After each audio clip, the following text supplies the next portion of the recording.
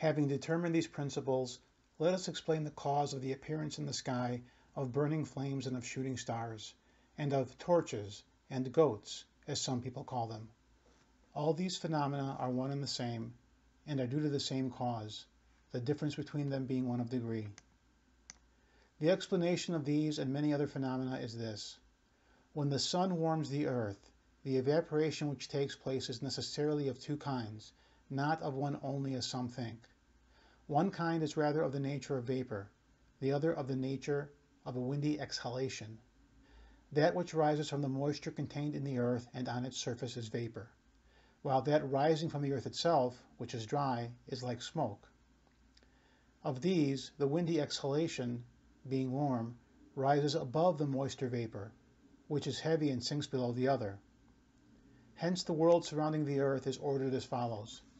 First, Below the circular motion comes the warm and dry element, which we call fire, for there is no word fully adequate to every state of the fumid evaporation. But we must use this terminology since this element is the most inflammable of all bodies. Below this comes air. We must think of what we just called fire as being spread round the terrestrial sphere on the outside like a kind of fuel, so that a little motion often makes it burst into flame just as smoke does for flame is the ebullition of a dry exhalation.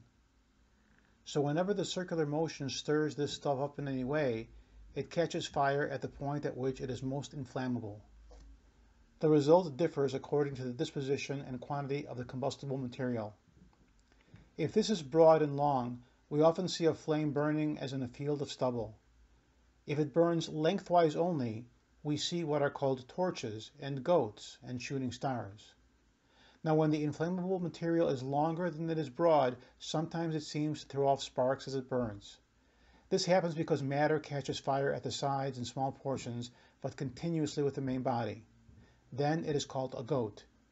When this does not happen, it is a torch.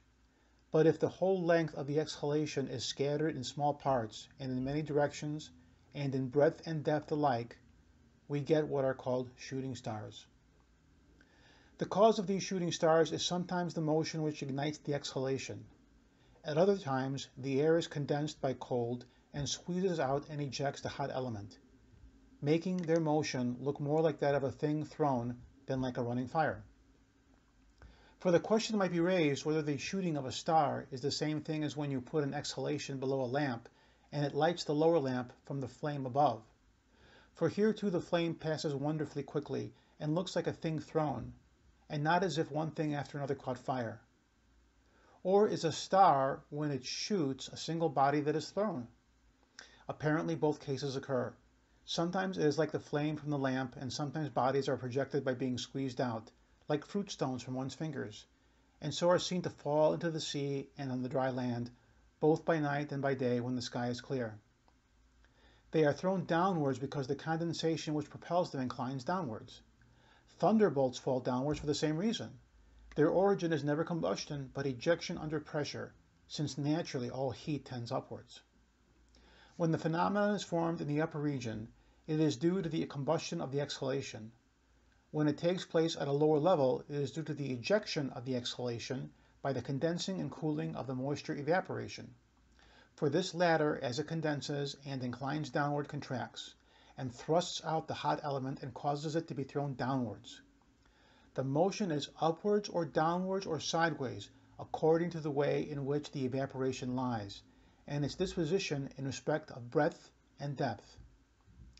In most cases the direction is sideways because two motions are involved, a compulsory motion downwards and a natural motion upwards, and under these circumstances an object always moves obliquely. Hence, the motion of shooting stars is generally oblique. So the material cause of all these phenomena is the exhalation, the efficient cause sometimes the upper motion, sometimes the contraction and condensation of the air. Further, all these things happen below the moon. This is shown by their apparent speed, which is equal to that of things thrown by us. For it is because they are close to us that these latter seem far to exceed in speed the stars, the sun, and the moon.